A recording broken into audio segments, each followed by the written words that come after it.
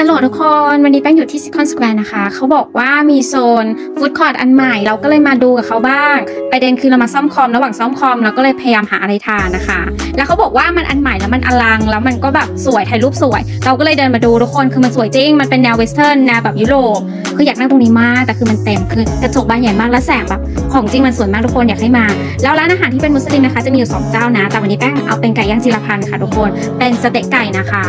ก็แอบแพงนิดนึง แต่ว่าก็โอโอเค แล้วก็หมดไปประมาณ 3-400 นะจ๊ะ ประมาณนี้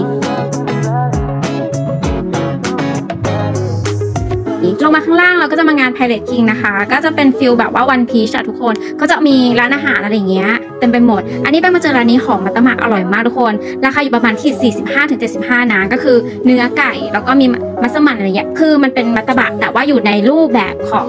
ขนมปลาหรือว่าโตเกียวทุกคนคืออร่อยมากอยากให้ลองเขาจะออกเฉพาะตามอีเวนต์นะคะ ไปดูได้ตามที่แป้งขึ้นเมื่อกี้นะคะ แล้วก็มาเจอน้อง ๆน่ารักมากเลยทุกคนถ่ายรูปได้นะเพื่อนๆจะให้น้องก็ 20 เป็นค่าขนมน้องก็ได้นะคะ 20 บาท ก็บอกพี่เขาแล้วพี่เขาก็จะเซตน้องให้น้องน่ารักมากทุกคน แต่เราหาภาพนิ่งที่เราถ่ายตอนนั้นไม่เจอก็เลยเจอแค่วิดีโอ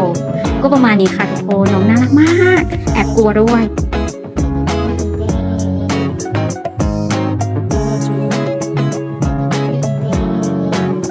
มาเรื่อยๆทุกคนมันจะมีเรือในเรือก็จะมีดอกไม้แล้วก็คือแบบตอนเราไปถ่ายก็พอเราถ่ายปุ๊บก็มีคนมาถ่ายเต็มเลยทุกคน แต่วันนี้คนไม่ค่อยเยอะนะคะเพราะแป้งไปวันธรรมดาแต่ถ้าไปเสาร์อาทิตย์อะคนจะเยอะมากทุกคนก็จะมีภายในงานนะคะ ก็จะเน้นผลไม้ของกินของข้าวของหวานขนมต่างๆนะคะ ญี่ปุ่นเกาหลีหรือแบบอ่าอาหารมุสลิมก็มีนะคะหรือขนมอะไรอย่างเงี้ย มีหมดทุกคนแล้วก็รวมถึงเสื้อผ้าอ c เซสซอรี่ต่างๆนะคะ ก็คือมาแล้วก็คือได้ของกลับบ้านอะไม่ว่าจะเป็นของกินของใช้ได้หมดเลยทุกคน แล้วก็จะมีมุมโซนสลัดมุมเรืออย่างเงี้ยให้ถ่ายรูปสวยๆทุกคน มีแมสคอตเดินมาหาเราด้วยนะในนี้ก็จะมีค่ะทุกคน อารมณ์แบบใครอยากได้รูปแบบเซลฟี่สวยๆ หรือว่า moment อะไรแปลกๆ อย่างเงี้ย ก็มาหาได้ เขาจะมีจัดอีเวนต์แบบเนี้ยค่ะ เกือบทุกเดือนเลย ก็ต้องคอยดูในเพจของเขาค่ะ ว่าเดือนไหนเขาจะจัดอีเวนต์แบบไหน ก็คือถ้าอยากได้รูปลงโซเชียลอะไรเงี้ย ก็มาได้อันนี้ก็เป็นอีกหนึ่ง choice นะคะ นอกจากคาเฟ่หรือแบบไปเที่ยวต่างจังหวัดอะไรแบบเนี้ย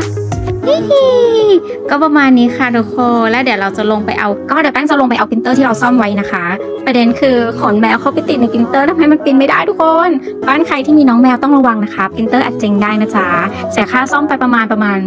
2,500ประมาณเนี้ย รวมถึงน้ำหมึกด้วยเพิ่มมาด้วยจ้ะทุกคน ก็ไว้เจอกันค่ะบ๊ายบาย